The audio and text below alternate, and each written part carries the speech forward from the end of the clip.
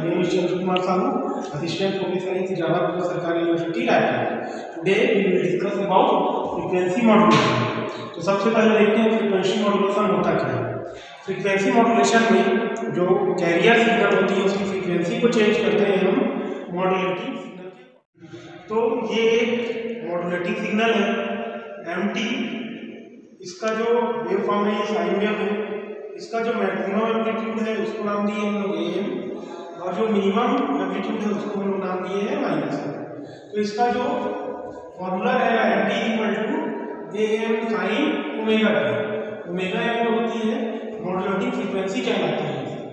अब इसी के साथ हम एक और सिग्नल लेते हैं कैरियर सिग्नल कैरियर सिग्नल ये जो बन रहा है, इसका भी जो मैक्सिमम एम्पलीट्यूड है, उसको नाम दिए हम लोग इसी। और जो मिनिमम एम्पलीट्यूड होता है, उसको नाम दिए हैं माइनस इसका जो फॉर्मूला होता है C T equal to A C sine omega C omega C को बोलते हैं कैरियर फ्रीक्वेंसी अब देखिए जो एम्पलीट्यूड जो मॉड्यूलेटिंग सिग्नल है, इसका जो फ्रीक्वेंसी है वो बहुत ज़्यादा है और जो कैरियर सिग्नल है, इसकी फ्रीक्वेंसी बहुत कम है। अब इन दोनों को हम मॉड्यूलेशन करेंगे तो मॉड्यूलेशन करने के बाद ये जो सिग्नल आया वाइट वाइट बोलते हैं फ्रीक्वेंसी मॉड्यूलेटिंग सिग्नल ठीक? इसमें क्या होता है? ये देखिए शुरुआत में ये जो फ्रीक्वेंसी है, यहाँ पर बहुत अधिक है मैक्सिमम है।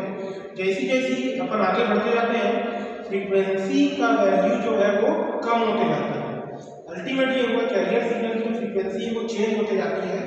एम्पलीट्यूड पे कोई इफ़ेक्ट नहीं पड़ता, इसी कारण भी इसका फार्मूला होता है Y T equal to A C sine omega dash A C जो फ्रीक्वेंसी एम्पलीट्यूड है वो सेम है ए सी लेकिन इसकी जो फ्रीक्वेंसी है ओमेगा ये आप चेंज इसी कारण यहाँ पे लिखा omega okay student thank you